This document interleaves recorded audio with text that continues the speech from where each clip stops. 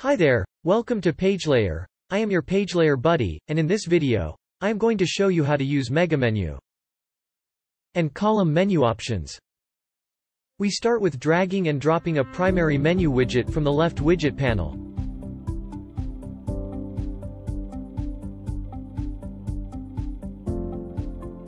After dropping the primary menu you will see different properties of the widget on the left-hand panel.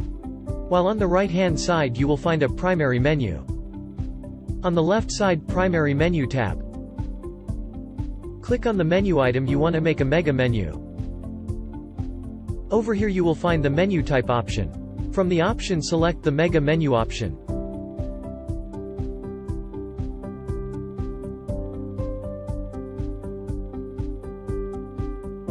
Here you can see a down arrow which means the mega menu is created. In the menu container, we can drag and drop any widget. Here we will drag and drop a title widget inside the container. Click on the title widget and design it from the left panel.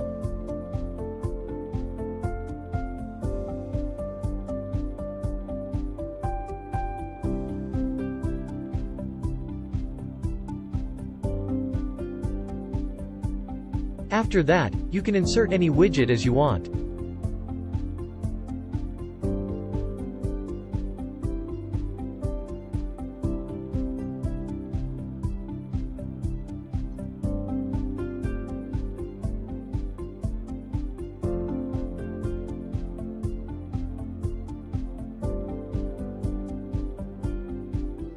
Here we will insert a progress bar widget. Then design it to work with our website UI.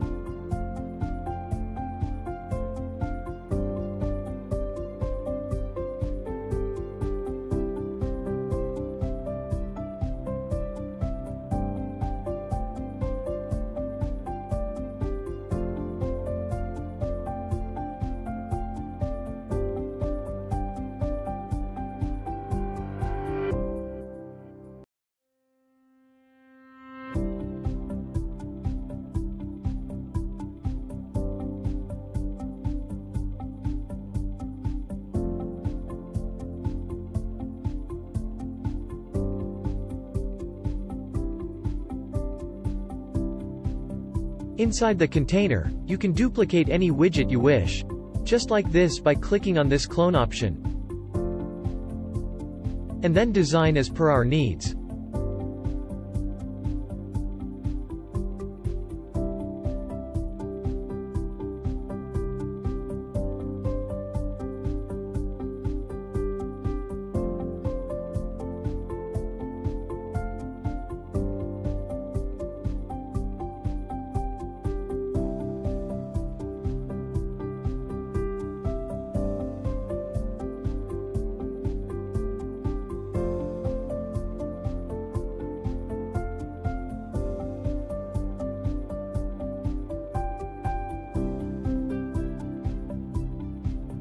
Furthermore to design more impressive designs you can use widgets like columns just like we are using here.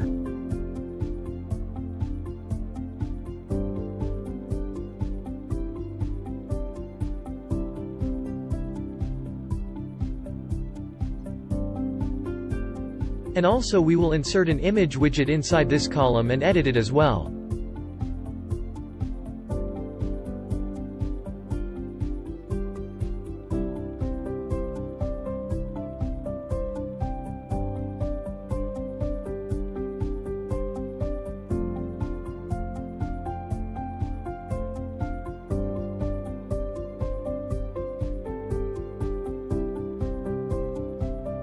You can edit the inner row from here.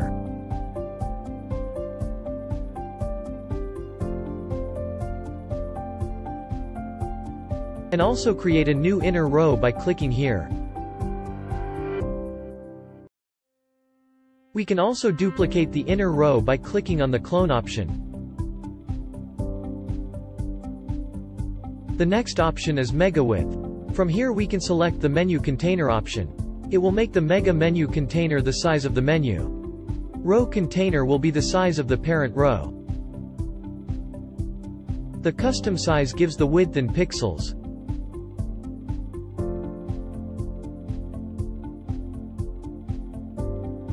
Icon option in which you have to select the icon you want to show with the menu item. The next section is menu item setting inside which disable link option disables the link of the menu item. Hide text option hides the menu item title. Icon position sets the position to the right or left of the menu title. The next section will be the highlight label. In the highlight, the label enters the text to display. Select the background and text color for the label.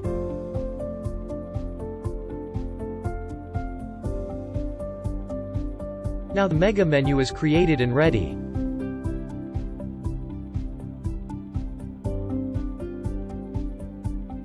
Next, we will create the column menu. You need to have subpages for the menu item to make it a column menu. To create the column menu change the menu type to column menu.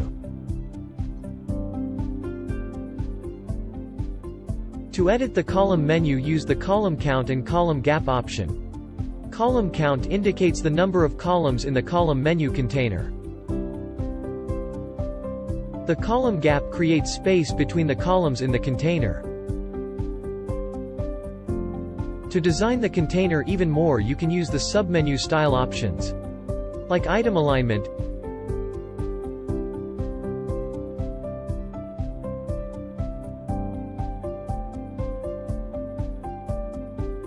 Background in normal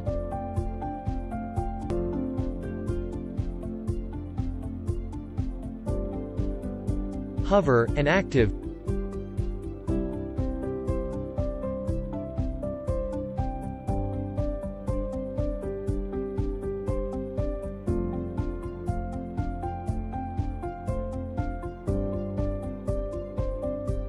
Typography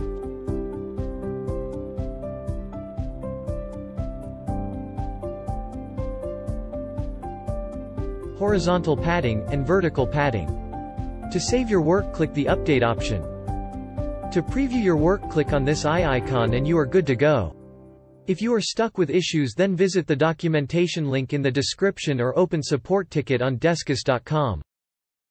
For more tutorials, subscribe to our YouTube channel or go to pagelayer.com docs.